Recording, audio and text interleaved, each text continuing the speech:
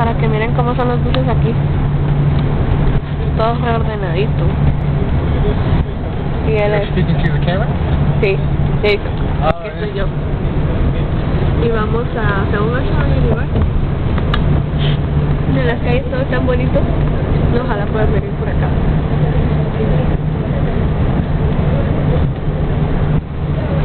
Espero que todo, que todo bien, los quiero mucho.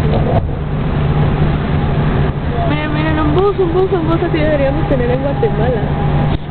Y está nublado, pero está haciendo un poco de calor.